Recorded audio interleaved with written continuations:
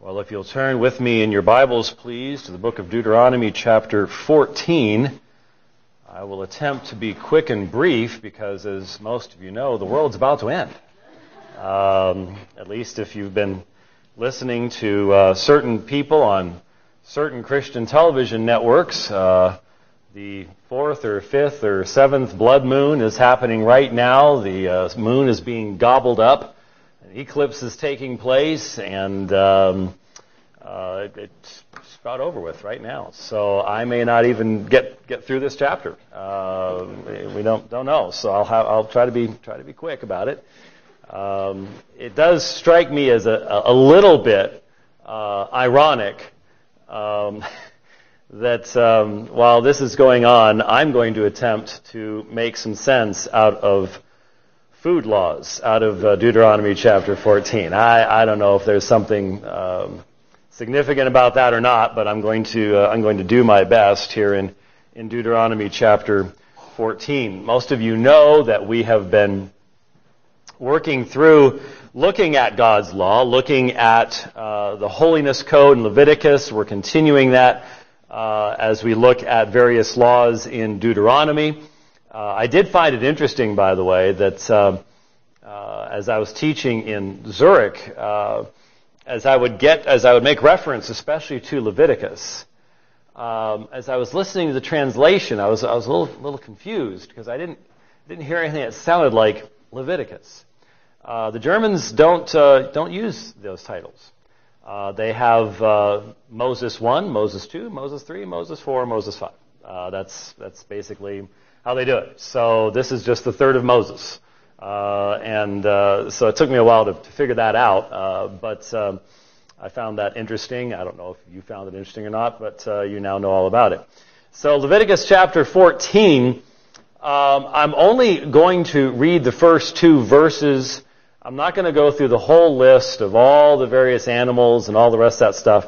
And then I'm going to skip toward the end and read a, a section from the end and try to make some meaningful comments uh, from our text this evening.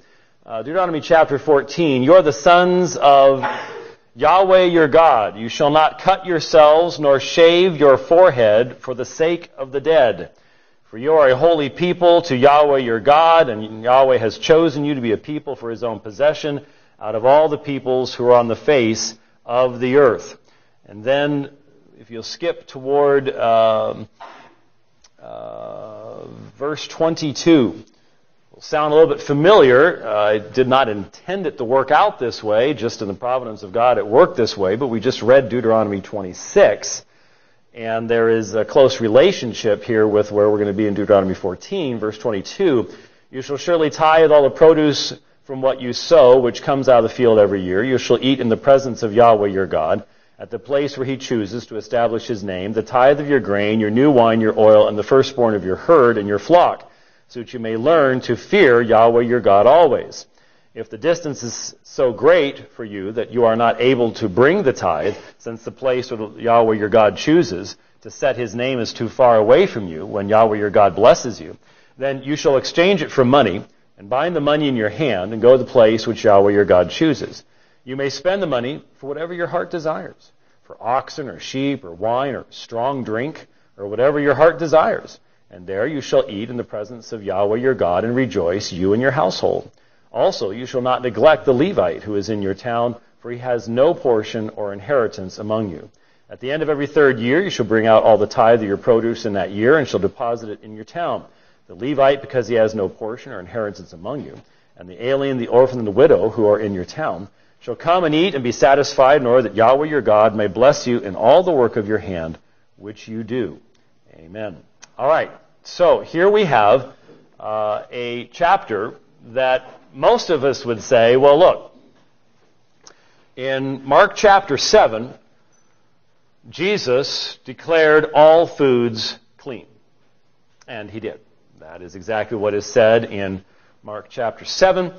And so, why are we bothering? Well, uh, again, from, from the beginning, I have uh, been uh, desiring to make sure that all of you, including even the youngest amongst you, really, uh, if you're listening, if you're hearing what I'm saying, would feel comfortable giving an answer within the context the Lord places you for people who would say, you are a hypocrite. You are only picking and choosing from the laws of the Old Testament what you're comfortable with, and if you just get with the program, if you would just realize that these things were either uh, irrelevant to us today, they only had to do with the Jews, uh, whatever, if you just realize these things, then uh, you wouldn't be such a stick in the mud, and you'd be able to uh, move along with the church as it uh, grows and develops and evolves and, and moves along with the culture, etc., etc., etc.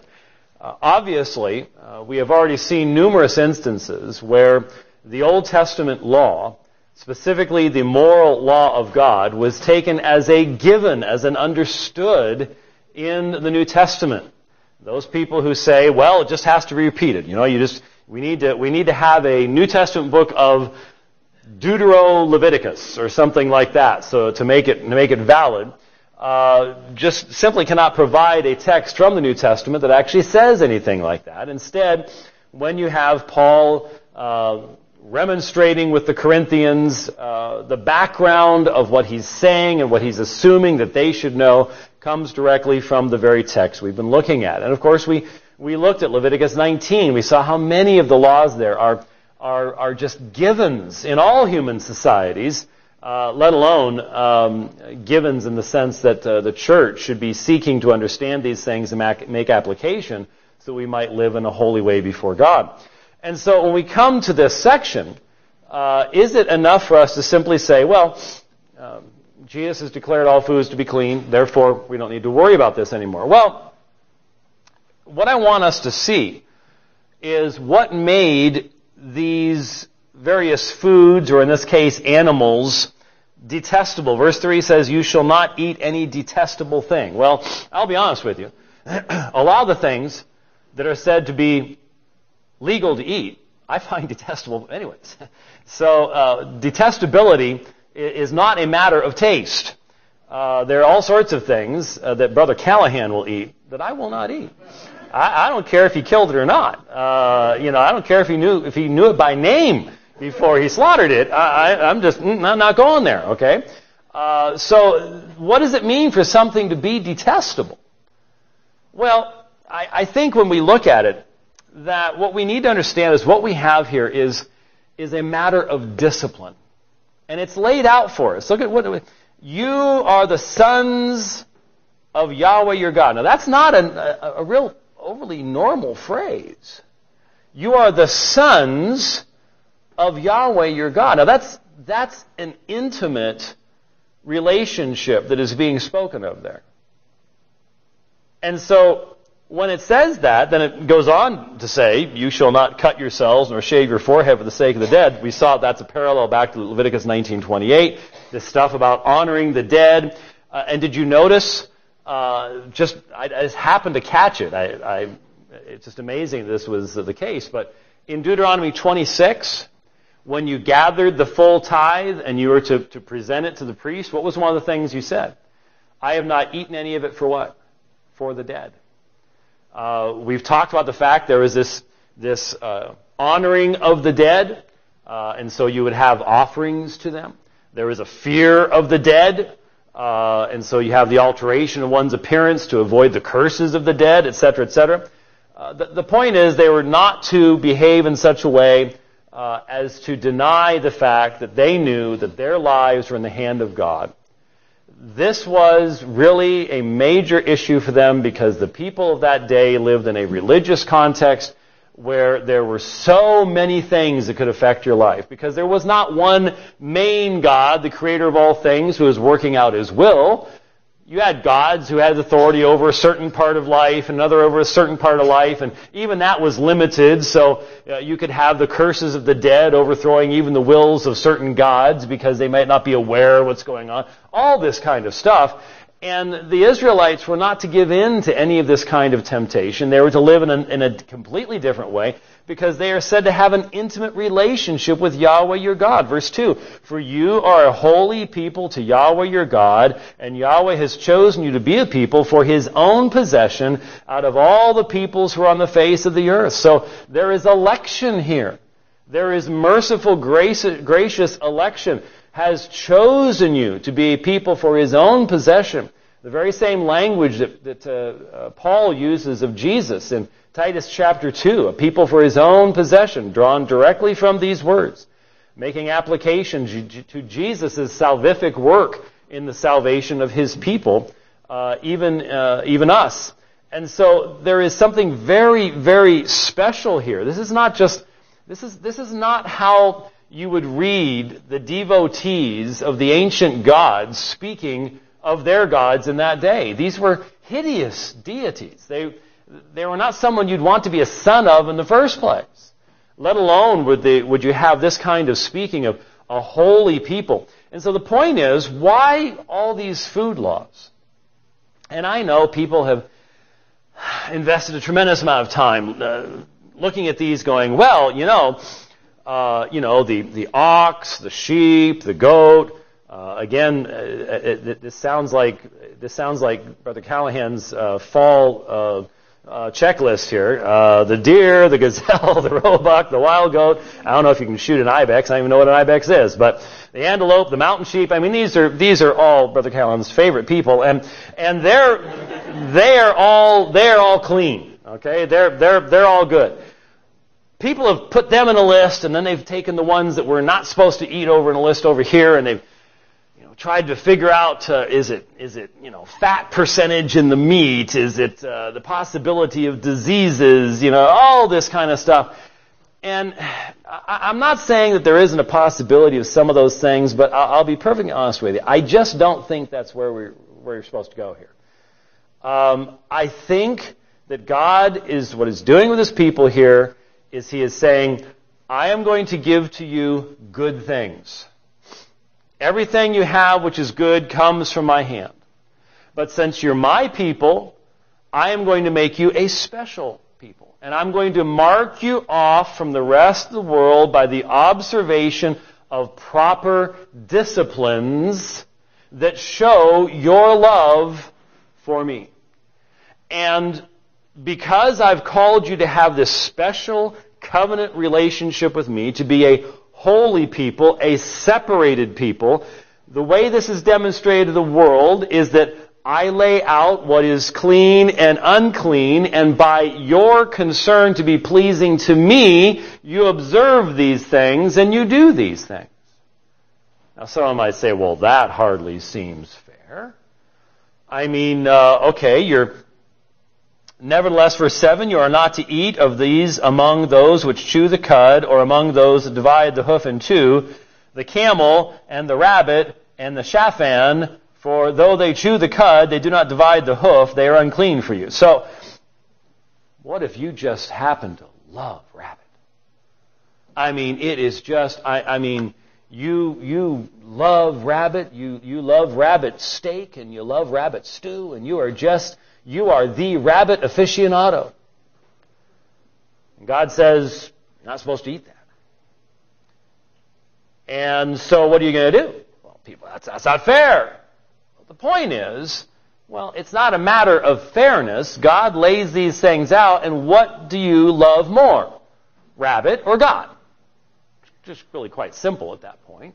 If you want to be a part of the holy people of God, He gets to make the rules, in essence, as to what that people is going to look like. And so I don't think it's a matter of, of you know, uh, all the meat in the good list is necessarily better than the meat in the other list. Now, I don't know about you, but I ain't eating camel one way or the other. But uh, there, there are people that do uh, today. There are people that eat camel. Uh, and uh, you know, when you start getting into all the, the, the birds and the and the fish and all the rest of that kind of stuff, you know, okay, I I uh, you know, you're not supposed to eat the buzzard. Well, that one was pretty straightforward. I, I don't think there were too many people crying about that one, but uh, but but still, uh, I just don't think that the, that we need to be looking at that and trying to figure out. Well, there was a specific genetic reason or something like that. I think God has the right to say, Here's the good things I've given to you, but these things I forbid to you. This is what makes you a holy people to God. And your choice is, do you love God? Do you want to be pleasing to Him? This is what He's revealed. This is what you do.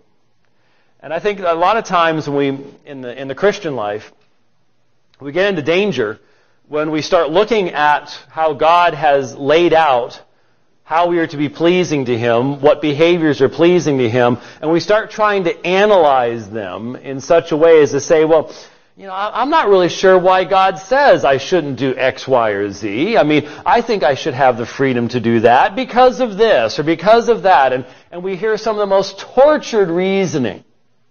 Instead of just starting with the idea that God says it's displeasing to Him.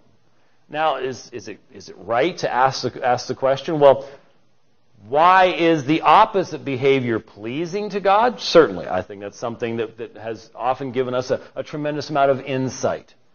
But God has the right to say, you don't do this.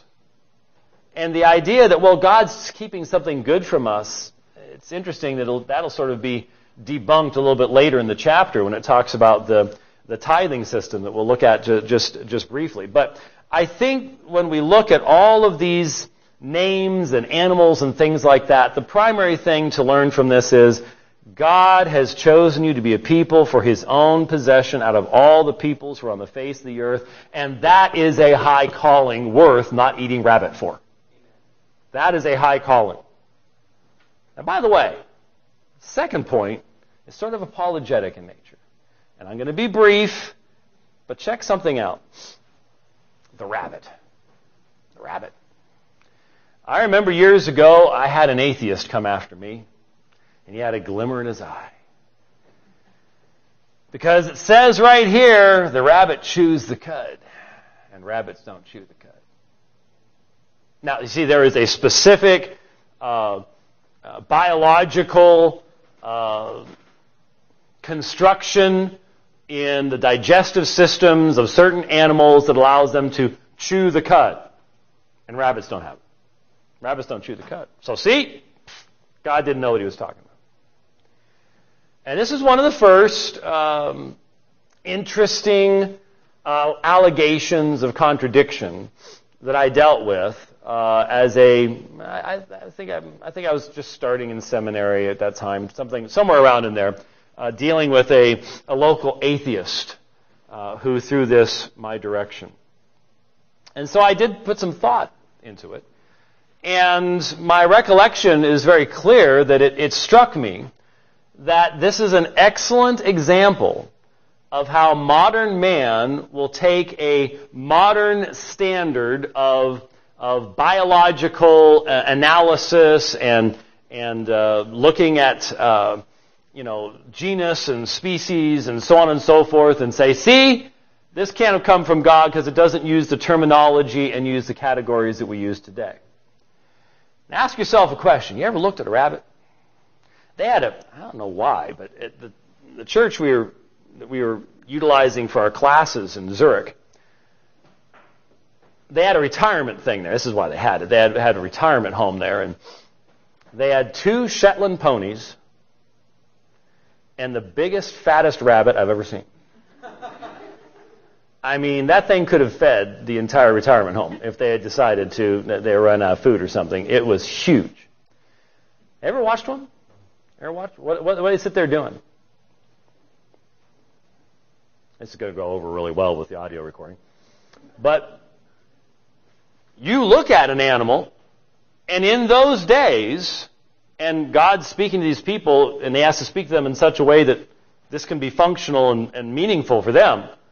Can you tell the difference between a rabbit that's going and any animal that does chew the cuds and they're going, they all look like they're doing the same thing.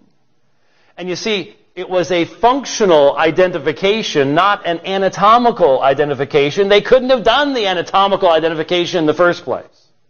So it would be silly to make that kind of a standard that they could not follow. It has to be a standard that they can follow with their eyes and the identification of these animals, and it makes perfect sense to describe it in the way that the Bible does. And so it's just one of those many places where you have to, you have to stand back and when you hear the accusation of inaccuracy or contradiction or something like that, ask yourself the question, is this simply a difference in how to identify things from the ancient world to the modern world, or is it a true contradiction? In this case, it just simply becomes one of those examples where the contradiction is in the mind of the modern. It is not in the actual uh, text itself. But just one of those things that, that came up many, many years ago. Um, I noted in verse 21 as well, it's repeated what we saw at the beginning. For you are a holy people, the Lord your God. This is in regards to allowing an alien to eat something that dies of itself, if that's part of their culture, but you're not allowed to do so. Now, is God saying, go ahead and let the alien kill himself? Is God not showing interest in, in, in the life of the alien? No, it's the distinction in those who are the covenant people of God and those who may be living the land but are not the covenant people of God. This being a holy people, these laws are for them to demonstrate their faithfulness to, their covenant relationship to, and their love for their God. And I think that's reiterated in what you have. Now, briefly, in verses 22 and following, you have a reference, as we saw in chapter 26, to the tithing system of the nation of Israel. Now, there was a, uh, the, the, the Ma'aser Rashon was the first tithe. The Ma'aser Sheni was the second tithe.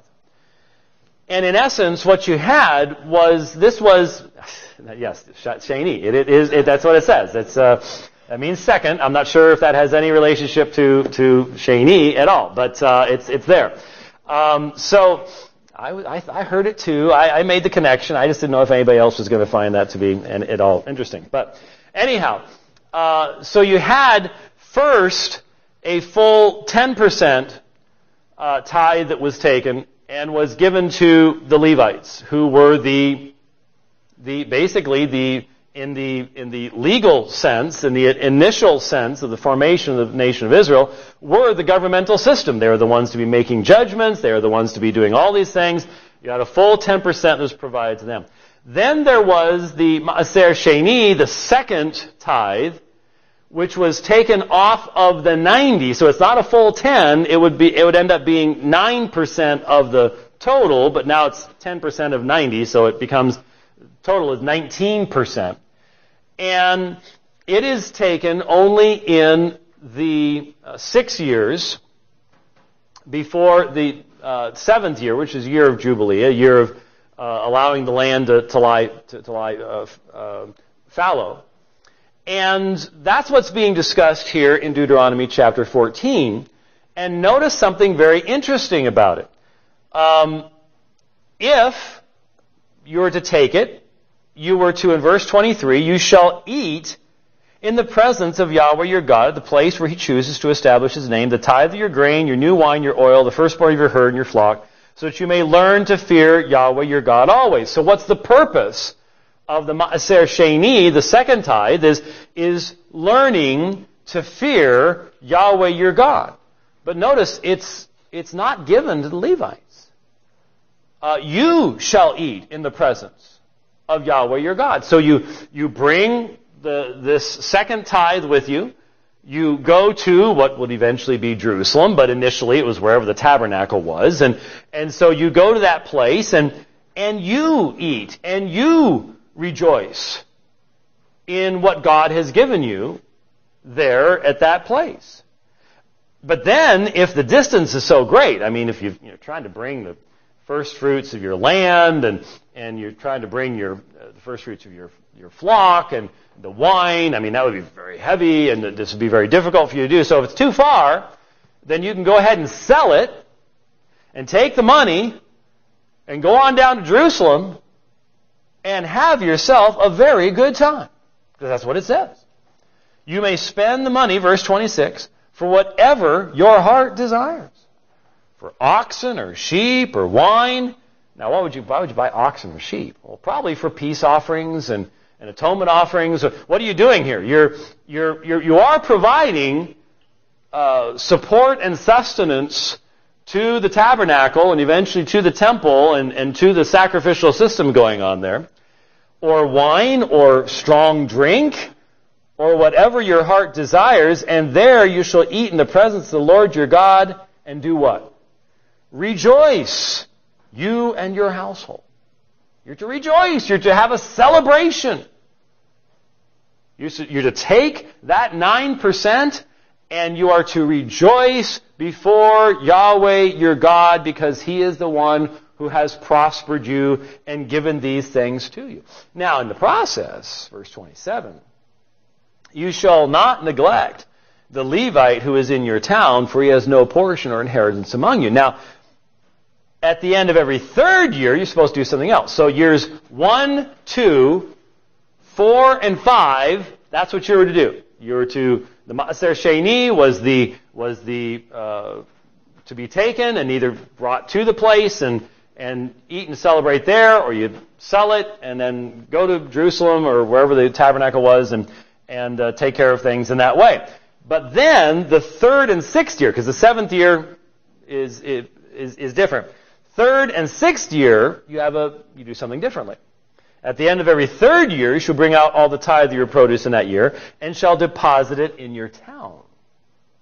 The Levite, because he has no portion or inheritance among you, and the alien, the orphan, and the widow, who are in your town, shall come and eat and be satisfied, in order that Yahweh your God may bless you in all the work of your hand which you do. So, here was a portion of a welfare system, in essence, not the way we understand it. Uh, you know, there's major difference between uh, the poor in the days of the Bible and many, many, not all, but many of the poor today. Uh, these were people who were working very, very hard, but they were not able to, um, you know, they were just living at the sustenance level. Uh, the economic systems of those days, the economic systems of the days of Jesus, uh, were not what they are today. And when you had you had famine, you would have uh, drought. Uh, drought would result in famine, etc., etc. There were many people that were just right on that that borderline. No matter how hard they worked, they were right on that borderline. It wasn't a matter of people not working hard. Uh, it was a matter of what this, the the economic system could produce. And so at the end of every third year and every sixth year. So right before uh, the the year of Jubilee, well, not not not the 50th year, you know, seven times seven, 49, uh, but that seventh year of release of freedom, uh, there was to be a, a collection of the Maaser Sheni, and instead of going to celebrate and rejoice, what you do is you deposit it in your town. And the Levite uh, and the alien and the orphan and the widow who are in your town shall come and eat and be satisfied. And so it was to provide uh, sustenance, just as we noted, for example, earlier, that when you gleaned your field, what were you to do? You weren't supposed to go all the way to the corners. You weren't supposed to go all the way to the edges. You're supposed to provide, you leave that there so that people who are willing to work and come get it would be able to have sustenance for themselves. And here is another way in which this was provided. And so again, this was to teach the people to fear God, to trust Him to provide for them if they were faithful to Him, but also it provided, in a sense, the means for uh, the society to provide for those uh, who were right on that, right on that level, right on that uh, that line between being able to make it and not be able to make it. And so here you had the, the tithing system. That first 10% goes to, to, the, to the sacrificial system, to the Levites, the priesthood. Then you have the Maaser Sheni, the second tithe, which every third and sixth year goes to the poor. The first, the second, the fourth, and the fifth. You, you either ate of it yourself in the presence of the Lord, or you sold it and then went in the presence of the Lord. All of this was to teach the people to fear the Lord, the seventh year being uh, the land was to be was to lie fallow. We know that one of the reasons, for example, that Jerusalem was sent, uh, that uh, Israel was sent into captivity, was because they had just simply ignored all this. They just ignored it. They didn't do it. Uh, they began joining land to land. Greed took over, uh, and instead of allowing the land to to rest, well, we can't do that. we, we we can't compete with our neighbors if we're not uh, constantly having that source of income, etc., etc. And one of the things the prophets bring to bear uh, was this very fact that they had uh, ignored God's commandment and God's law in this matter in regards to how the land was to be dealt with and how the society uh, was to uh, be uh, supported and how there was to be this uh, care for one another that is a part of the very system. So we look at this, we look at this text, and, and I'm afraid most of the time people start reading through it and they, oh, okay, these animals, those animals, uh, some type of a tithe and wine and first fruits and, you know, right on by it. The reality is what we see is God's concern for His people. There is an inherent um, uh, teaching against the idea of greed, teaching against the idea that would eventually be very central in Israel's experience of, of the rich becoming richer and the poor becoming poor simply because they were ignoring uh, the, the freeing of the slaves, the allowance of the land to, to lie fallow, etc., etc. Um, and of course, all that went back to the fact that they did not see themselves as a holy people who had to express their love for their God by their willing obedience to His law and their willing submission to His law and doing what would be pleasing in His sight. And so these laws, again, if we will just listen, they had a function in their day. Yes, did Jesus, is, is anything after verse 3 in regards to the food laws uh, incumbent upon us today? Not according to Mark, Mark, chapter 7. He declared all food to be, uh, to be clean. Uh, but why did they, did God give those laws?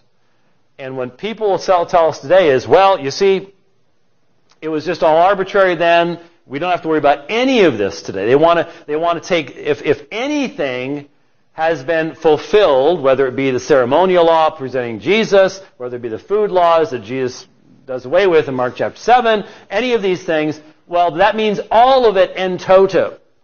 That is a very simplistic and very foolish and unworkable approach. You wouldn't do that with anything else, but for some reason people try to do it with the Bible because they're trying to get around the moral element of God's law uh, that we see the New Testament makes clear application to in its repeated assertions to us, you shall be holy, even as I am holy. So even in a text like this, which most people would just say, ah, you know, okay, it's animal stuff, let's move on. We can learn important things uh, about God's provision for His people and even make application to ourselves today as well. Let's pray together. Our gracious Heavenly Father, once again we do thank you for the opportunity we have of possessing your word and looking back upon your dealings with your people and recognizing that you have worked with your people with great wisdom. And Lord, we know that you work with us with great wisdom as well and great patience. We thank you for it. We ask that once again, as we have opportunity to speak to those around us, and if they raise these objections to your word, that we would be prepared, that we would honor you with our responses and with our uh, handling of your truth, all to your honor and glory. We pray in Christ's name. Amen.